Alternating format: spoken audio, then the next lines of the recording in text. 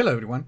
In this lesson we're going to look at the steps to upgrade from Windows 11 version 21H2 to version 22H2 using the official ISO file. Microsoft supports different methods to upgrade to a new version of Windows, and the easiest way to upgrade is to mount the ISO file in File Explorer to proceed with the setup process. In the past, you were able to use the media creation tool, but the tool has now been repurposed to create an installation media only. Okay, here's how to upgrade to version 22H2 using the official ISO file. These instructions will also work to upgrade from Windows 10 to Windows 11 version 22H2. First, you need to download the official ISO file of Windows 11 version 22H2 from this Microsoft Support website. You can check the video description for the link to download this file. Just remember that the ISO file for the new version will be available once the company begins the official rollout of version 22H2, which is expected to happen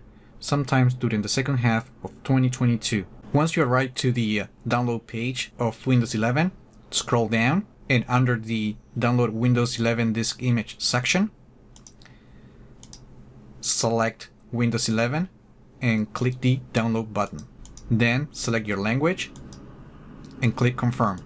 Then click the download button and save the file on your computer. I have already downloaded the file, so I'm going to cancel this. Now open File Explorer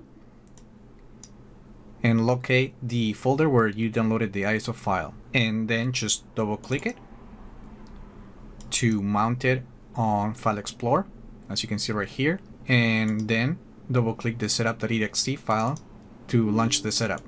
Uncheck this option and optionally click on change how the setup download updates and select the not right now option. This will help to speed up the uh, upgrade process.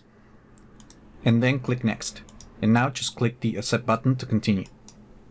Now make sure that on this page the install Windows 11 option is checked and the keep personal files in apps it's also checked. If you don't see this option, click the check what to keep option and then select to keep your personal files and apps. And then to proceed with the upgrade to Windows 11 version 22H2, click the install button.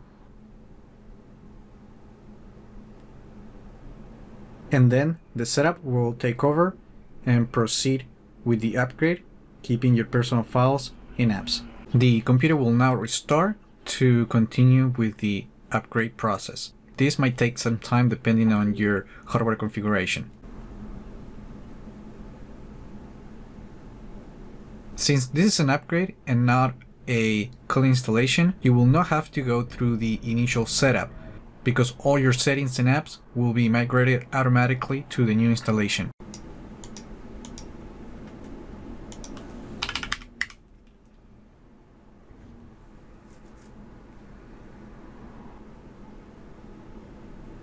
And that's it, you have successfully upgraded to Windows 11 version 22H2. You can quickly check if you're running the latest version by opening Start, looking for Settings, and then on System, About, under Windows Specifications, the version number should now be 22H2. Remember to like the video, leave your comments, subscribe to the channel if you haven't done that yet, and I just hope this video was informative for you, and I would like to thank you for viewing.